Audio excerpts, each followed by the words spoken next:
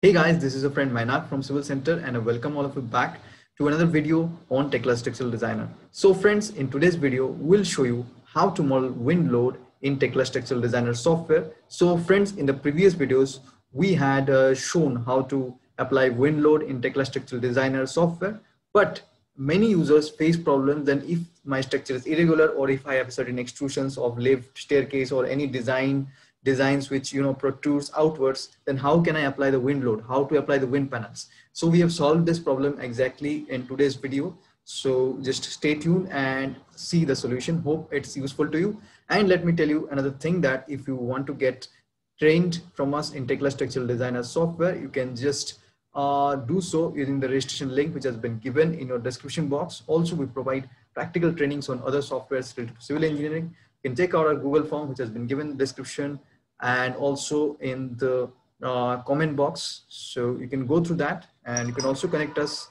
on WhatsApp. So uh, now we'll just uh, start our today's video. As you can see here, we have a particular building model and this particular portion of the lift has extruding outwards. Now how to apply the wind loads to it.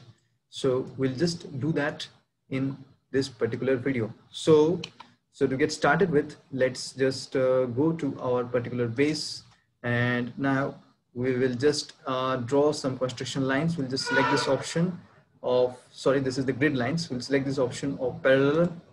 Now we'll take and reference line, we'll select this. Now you can just and uh, edit the values using F2 or in some laptops or computers, you can just uh, press function plus F12, take an offset of five meter and so and then I'll just uh, have a click on here and then I'll click on here.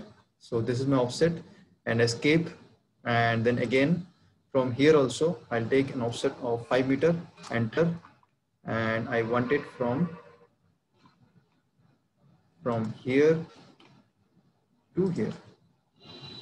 Escape from here also, I want an offset of 5 meter. I'll press function F2, 5, enter from here to here. Escape. Similarly here also, function F2, 5 meter, enter from here to here. So now I'm done here. Now I have this particular uh, thing in my 3D view. Make sure you in the scene content you have this on grids and construction lines. You just uh, have this on in your 3D view. And now I'm going to go to my topmost level, which is uh, let's see, my level four. And in the properties box, I'm just uh, uh, turn on this option, switch view the grids in the 3D view.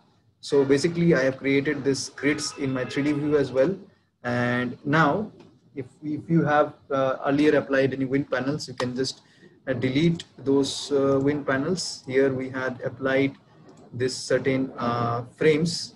So now what we'll do is we'll go to our model option and we'll go to our uh, wall panels and we'll create some wall panels here. Let's create this. So it's very simple using the grid lines. We'll just create the solid wall panels, double click on it and then first we'll complete the two sides and rotate it as per your preference. So the two sides have been completed. Now the remaining two sides complete. Last point, you can double click on it so what we're doing is we, we're covering the entire building model in the panels so that the wind can act. So now this is done and you can the scene content you can go and you can turn on the wind panels and after you turn on the wind panels you can select the wind panels and from here you can just or, or else you can just select this one by one, like one, two, by pressing control, obviously. You can rotate the right click of the mouse. With the help of the right click of the mouse, you can rotate then control plus select, right click of the mouse and rotate control plus select this. So after this, you can just decompose to rigid diaphragm. You can make this as a rigid diaphragm. And then, then friends, you can just model your wind load. We can go to loadings. Then it's very simple wind wizard as per, you know, the codes of the country which you have uh, entered, they will take the values automatically. So I, I have taken here IS code. So orientation 90 degrees, basic wind speed 50, and then uh,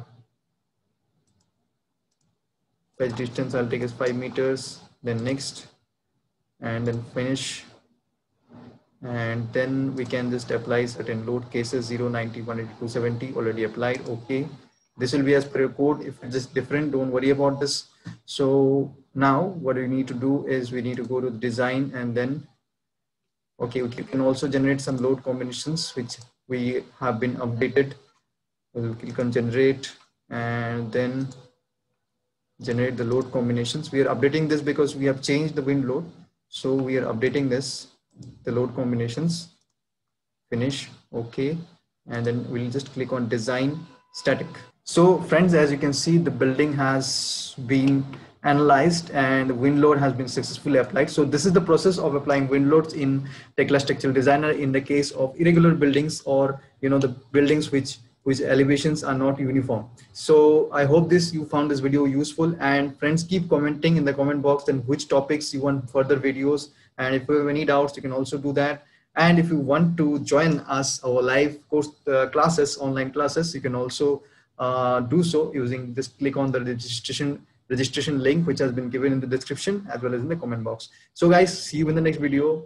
Keep learning. Bye-bye.